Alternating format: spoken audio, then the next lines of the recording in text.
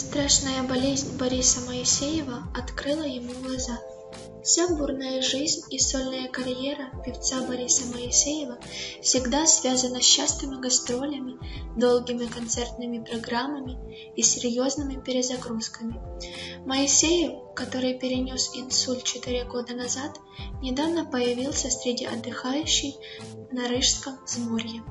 Поклонники артиста сразу увидели, что он выглядит плохо – Присутствовавшие рядом с артистом очевидцы подметили усталый вид и отекшее лицо Бориса. Сам он рассказал, что чувствует себя нормально, несмотря на то, что до сих пор продолжает страдать осложнениями после первого инсульта. Финансово он живет превосходно и совсем не бедствует.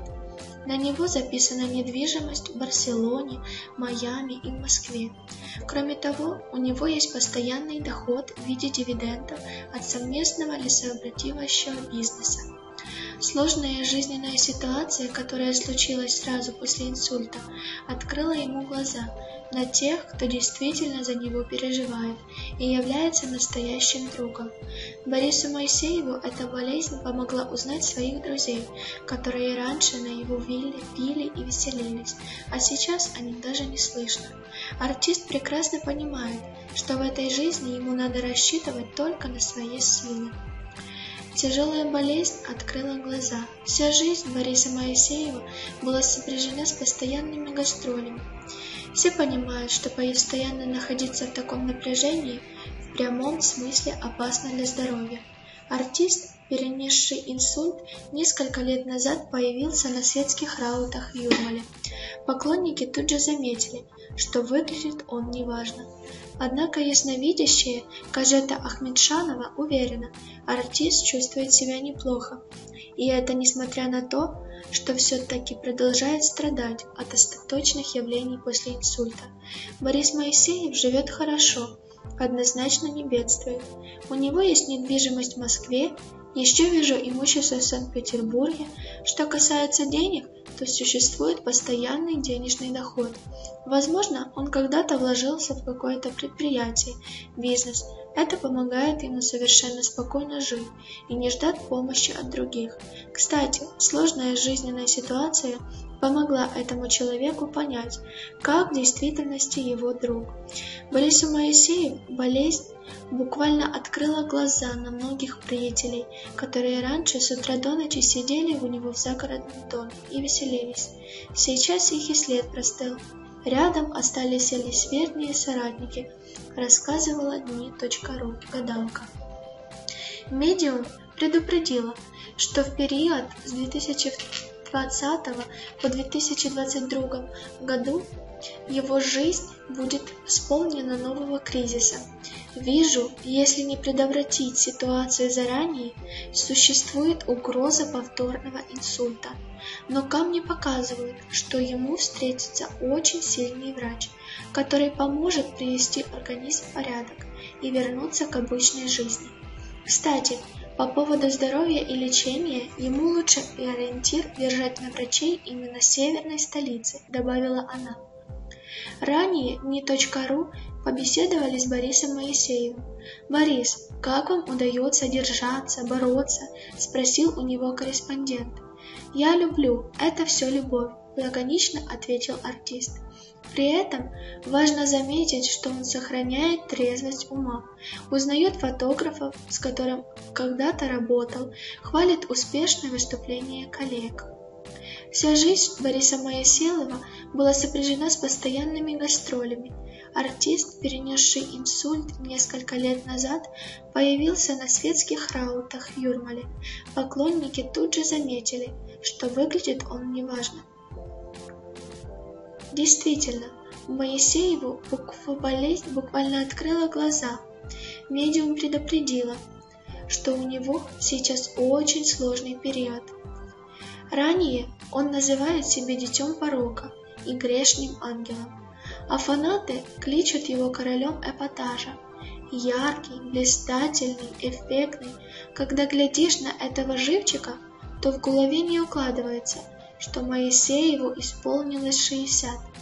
Не так давно артист одной ногой побывал в могиле и после страшной болезни певец снова начал концертную деятельность. Сделав невозможное, он позвал в гости журналиста «Моей правды» не для того, чтобы сказками кормить, а потому, что захотел наконец разобраться, что в его жизни вымысел, а что реальность. Эпатажный певец давно уже вышел из детского возраста, но даже в свои 60 лет Борис продолжает верить в сказки.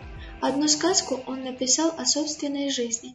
Она основана на реальных событиях. Главный герой – он сам. Правда, сказку эта история мало чем напоминает, особенно ее начало. Волшебное Тридесятое царство, где в 1953 году должен был появиться на свет маленький Борис, было тюрьмой. Вместо хоромов – вонючая камера, вместо перин – засаленные кольки, вместо окон – железные решетки. Это была женская колония в белорусском городе Могиле. Именно там отбывала срок политзаключенная Геня Моисеева. Ее посадили за некорректные высказывания о Сталине. Из колонии мало кто возвращался. Видимо, не вернулась бы и Геня, если бы не забеременела. То, что случается с миллионами женщин, для нее было настоящим чудом, ведь произошло это в месте, где мужчин можно увидеть только на картинках. Чтобы избежать скандала, будущую мать освободили досрочно. Уже на воле она родила мальчика, Борю. Непонятно, от кого или от чего родился мальчик. Когда она возвратилась на завод после всех своих неприятных историй, у нее спросили, ну и как ты родила?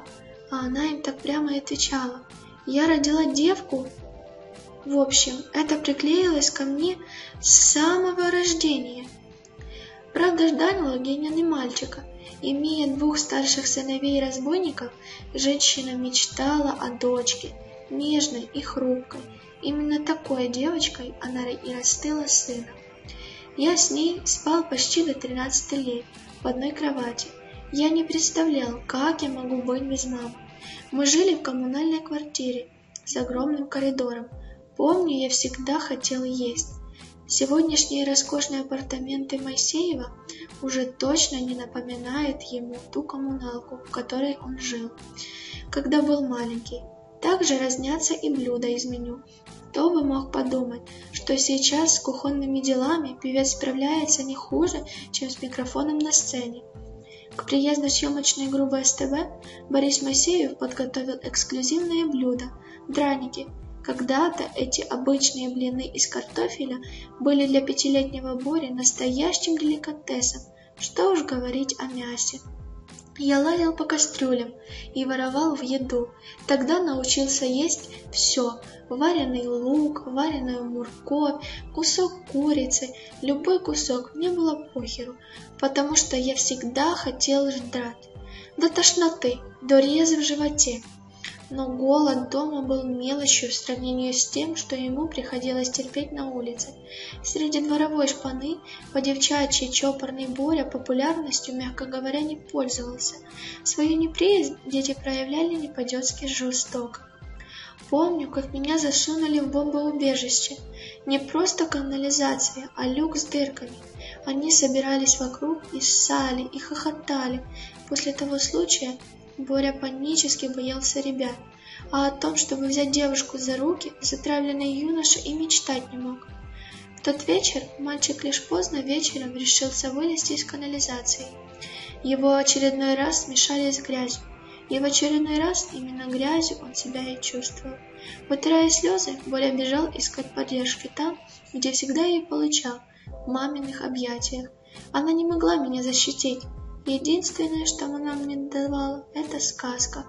Мамины сказки были его спасением. Сын мог часами слушать истории, которые женщина придумывала на ходу.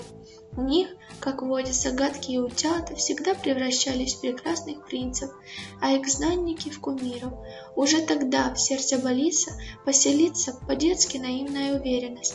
Такое же чудо когда-нибудь произойдет и с ним самим. Она всегда говорила так гений. Она говорила, мол, не волнуйся, ты хочешь быть звездой? Я сказал, я хочу быть звездой. На свой шестой день рождения Боря получает необычный подарок от мамы – чешки. Геня приводит сына в балетный класс. Другой пацан на его месте без жалобы от всех этих плей и пируэтов на футбольное поле. Но не Боря. Здесь, среди изящных танцоров, мальчик впервые чувствует себя своим загоняет себя до седьмого пота и в 14 лет становится лучшим выпускником.